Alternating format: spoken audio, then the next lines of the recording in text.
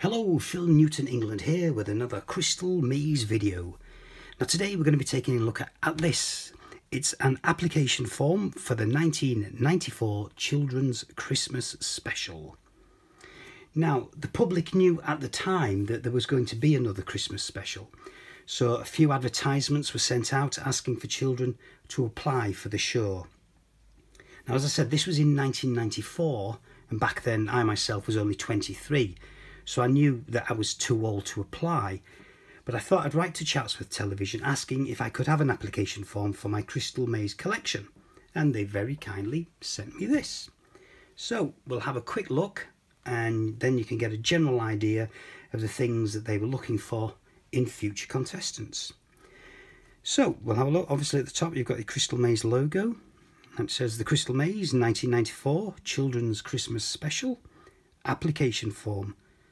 Please complete this form and return it with a recent photograph to Crystal Maze Contestant Research, Chatsworth Television, London. We regret the photograph cannot be returned and we shall only contact you if we wish to call you for an interview. Candidates will be chosen on an individual basis, independent of friends or relatives, and candidates must be aged between 10 to 15. Note for parents, travelling expenses to interviews cannot be refunded. So then they ask for your name, your age, your address, your date of birth, your home phone number, parent guardian uh, telephone number, what is your height and weight, and your sex or your gender. Have you applied to be on the Crystal Maze before? Yes or no? If so, where were you interviewed? Name and address of your school, name of headmaster or mistress. What skills do you possess? And are you a member of any activity stroke drama club? Then we'll have a look on the next page. What are your leisure interests? How often do you play sports? Do you ever do crosswords, puzzles, etc.? Yes or no? If so, which ones? Have you any fears or aversions? For example, heights? Have you done any amateur or professional acting? Have you ever been on a television game or quiz show? If so, which and when? How do you rate yourself in the following categories? Please indicate the area you are most suited to and explain why. Then we have lateral thinker, computer games enthusiast, strong, agile stroke gymnast, or an all-rounder, sporty, and then why. How fit are you? Are you colourblind? Do you have any allergies? Please indicate below where you would like to attend an interview should you be selected. Circle one choice. Once again, travel expenses cannot be refunded. Then we have a choice of locations. There's Birmingham, Manchester, Bath, London, Cardiff, Edinburgh, Norwich, Brighton and Newcastle. Then it says, should you be selected for an interview?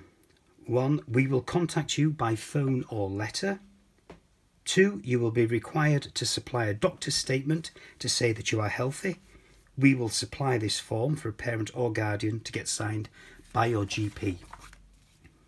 Then we have, uh, please note, should you be selected as a contestant for the programme, your parent or guardian will be required to sign an indemnity form and accompany you to the studio for two days of shooting. Please use the space below to tell us about yourself and why you think you would make a good Crystal Maze contestant. Then there's a, a bit of space there for you to write, write a bit about yourself.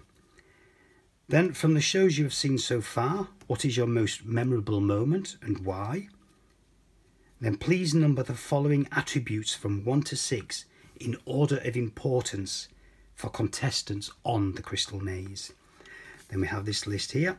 Team spirit, leadership, lateral thinking, sense of humour, ability to perform in front of camera, and confidence. Then it gives you a question. Ed's horse Bert ate a hundred apples in five days. Each day he ate six more than in the previous day. How many apples did he eat on the first day? And obviously there's a space there for your answer. And then on the last page, again, we have your measurement form. Obviously the Crystal Maze logo at the top, the address and phone numbers. Uh, measurement form in feet and inches. The Crystal Maze Children's Christmas Special, Series 6, 1994. Then name of contestant, height, weight, shoe size, inside leg, chest or bust, your hips and waist. And then underlined, please be honest. So they know that they can suit you up in the proper attire. So there you go. That's a Children's Christmas Special application form for the 1994 Christmas episode of The Crystal Maze. I do have one somewhere for the adult version. It's just knocking around my house somewhere, so I shall have a look for that. And um, I think the, the questions on there are a bit more intricate and in depth. So when I find that, I'll do another video of that. But hopefully, I hope this is interest, um, give you a bit of interest in this. And maybe next time, if the show does come back, you could be applying to be a contestant. So until then, take care. Bye.